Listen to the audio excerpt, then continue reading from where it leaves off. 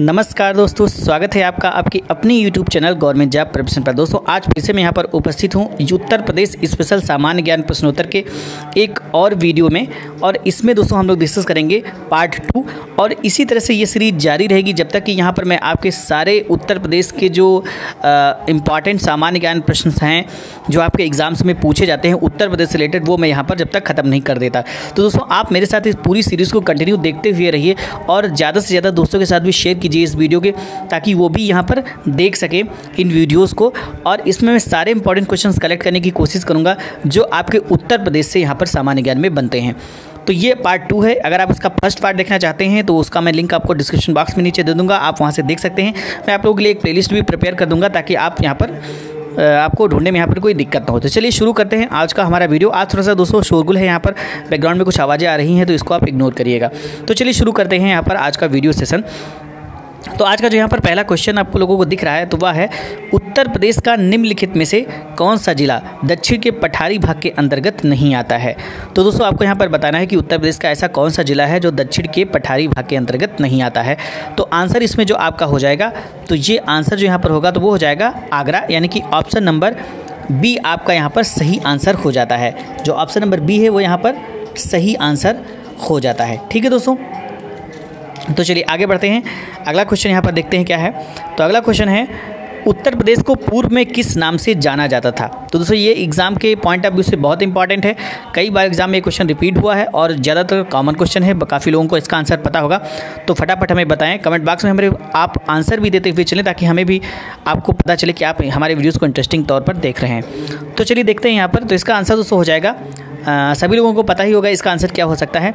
तो आंसर यहाँ पर हो जाएगा यूनाइटेड प्रोविंस यानी कि ऑप्शन नंबर एक आपका यहाँ पर सही आंसर हो जाता है। अगला क्वेश्चन है यहाँ पर, उत्तर प्रदेश का क्षेत्रफल कितना है? तो दोस्तों, ये भी इंपॉर्टेंट क्वेश्चन है। और एग्ज़ाम में कई बार ये पूछा गया, देखिए आपका लेखपाल 2016 के एग्ज़ाम में ये पूछा गया है। तो उत्तर प्रदेश का यहाँ पर आपको क्षेत्रफल बताना है कितना है। ठीक है दोस्तों? तो इसमें आपका आंसर क्या हो जाएगा? जो उत्तर प्रदेश का क्षेत्रफल है तो वो कितना है? तो आंसर यहाँ पर आपका हो जाएगा दो लाख चालीस हज़ार नौ सौ अट्ठाईस वर्ग किलोमीटर, यानी कि ऑप्शन नंबर बी आपका यहाँ पर सही आंसर हो जाता है, दो लाख चालीस हज़ार नौ सौ अट्ठाईस वर्ग किलोमीटर। अगला क्वेश्चन यहाँ पर देखते हैं। नेक्स्ट हमारा जो क्वेश्चन यहाँ पर है तो वह है, क्षेत्रफल की दृष्टि से उत्तर प्रदेश का भारत में कौन सा स्थान है? ये भी मोस्ट इंपॉर्टेंट क्वेश्चन है दोस्तों। एग्ज़ाम के पॉइंट ऑफ़ व्यू से काफ़ी इंपॉर्टेंट है। तो क्षेत्रफल की दृष्टि से जो उत्तर प्रदेश का स्थान यहाँ पर है, भारत में तो ये आपका चतुर्थ स्थान है, यानी कि ऑप्शन नंबर डी आपका सही आंसर यहाँ पर हो जाता है। अगला क्वेश्चन यहाँ पर देखते हैं तो नेक्स्ट जो क्वेश्चन हमारा निकल कर आ रहा है तो वह है, उत्तर प्रदेश में भाबर की तंग पट्टी कहाँ पाई जाती है? तो दोस्तों, आपको बताना है यहाँ पर कि उत्तर प्रदेश में भाबर की तंग पट्टी कहाँ पाई जाती है? तो आंसर यहाँ पर हो जाएगा, तराई क्षेत्र के उत्तरी भाग में, यानी कि ऑप्शन नंबर सी आपका यहाँ पर सही आंसर हो जाता है। उत्तर प्रदेश में भाबर की तंग पट्टी तराई क्षेत्र के उत्तरी भाग में पाई जाती है।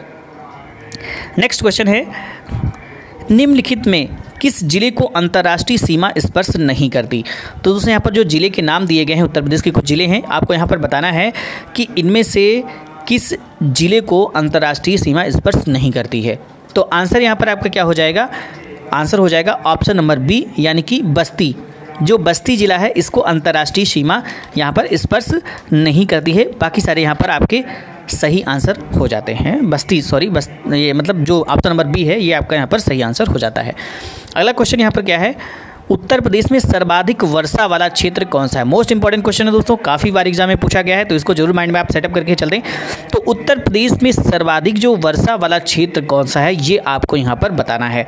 तो पूर्वी गंगा मैदान, पश्चिमी गंगा मैदान, मध्य गंगा मैदान या तराई क्षेत्र? तो आंसर यहाँ पर आपका हो जाएगा, जो तराई क्षेत्र है, ये उत्तर प्रदेश में सर्वाधिक वर्षा वाला क्षेत्र है।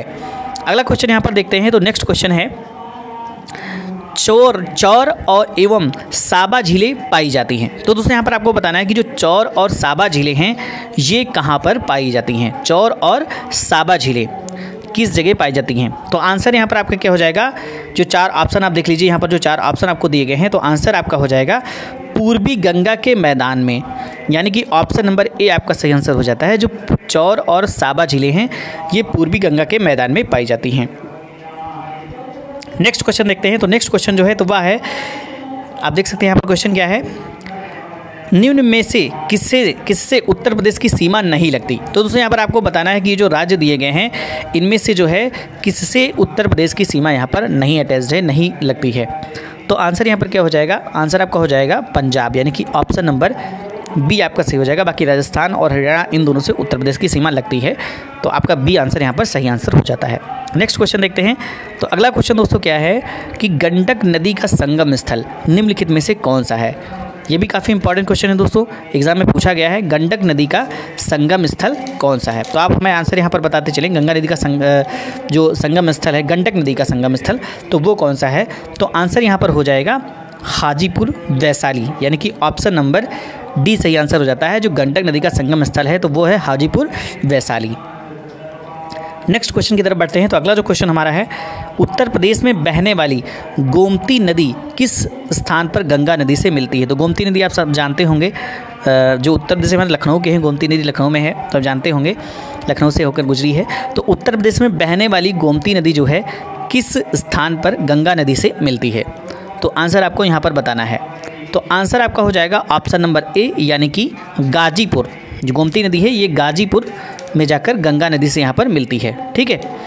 बढ़ते अगले क्वेश्चन की तरफ़। नेक्स्ट जो हमारे यहाँ पर क्वेश्चन है, पारीक्षा बाँध किस नदी पर अवस्थित है? काफ़ी अच्छा क्वेश्चन है ये। तो पारीक्षा बाँध किस नदी के तट पर यहाँ पर स्थित है? तो आंसर यहाँ पर आपका जो हो जाएगा तो वो हो जाएगा बेतवा नदी, यानी कि ऑप्शन नंबर ए आपका सही आंसर यहाँ पर हो जाता है। नेक्स्ट क्वेश्चन यहाँ पर देखते हैं। तो अगला जो हमारे यहाँ पर क्वेश्चन निकल कर आ रहा है तो वह है रुकुम कोट कौन सा? रुकुम कोट के निकट से निम्न में से कौन सी नदी निकलती है? तो रुकुम कोट के निकट से निम्न से कौन सी नदी गुजरती है, आपको यहाँ पर बताना है। तो आंसर आपका हो जाएगा राप्ती नदी, यानी कि ऑप्शन नंबर डी आपका सही आंसर यहाँ पर हो जाता है। नेक्स्ट क्वेश्चन यहाँ पर देखते हैं।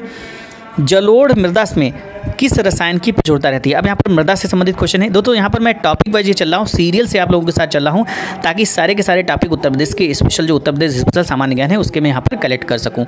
तो अब आते हैं हम यहाँ पर मृदा पर। तो जलोड़ मृदा में किस रसायन की प्रचुरता रहती है? तो आपको यहाँ पर बताना है कि जो जलोड़ मृदा होती है, इसमें किस रसायन की प्रचुरता रहती है? तो आंसर आपका यहाँ पर क्या हो जाएगा?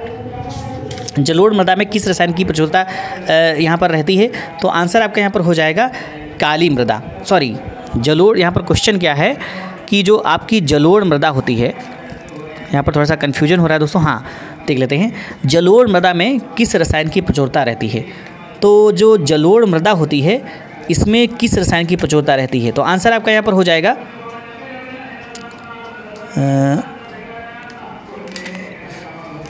ऑप्शन नंबर ए आपका यहाँ पर सही हो जाएगा पोटास एवं चूना। जो जलोढ़ मृदा होती है, इसमें पोटास और चूना की प्रचुरता रहती है। तो ये आपका यहाँ पर सही आंसर हो जाता है। नेक्स्ट क्वेश्चन यहाँ पर देखते हैं। नेक्स्ट क्वेश्चन हमारा जो है तो वह है, प्रदेश का कौन सा जिला और नालिका अपर्दन से अधिक प्रभावित है? तो आपको बताना है यहाँ पर कि प्रदेश का कौन सा जिला है जो अवनालिका अपर्दन से अधिक प्रभावित है? तो आंसर यहाँ पर क्या हो जाएगा? प्रदेश का कौन सा जिला और नालिका अपरदन से अधिक प्रभावित है? तो आंसर आपका जो हो जाएगा तो ये हो जाएगा आपका ऑप्शन नंबर डी, यानी कि इटावा।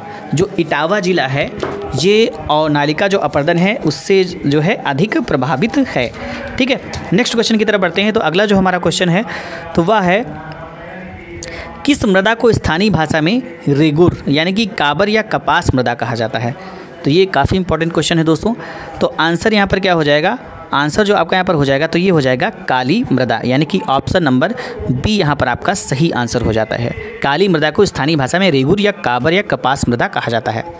ठीक है नेक्स्ट क्वेश्चन दोस्तों है, मृदा अपर्दन सर्वाधिक किस ज़िले में होता है? तो ये भी इंपॉर्टेंट क्वेश्चन है। मृदा अपर्दन जो आपके ऑप्शन यहाँ पर दिए गए हैं, इसमें बताना है कि इनमें से किसमें सर्वाधिक मृदा अपर्दन होता है।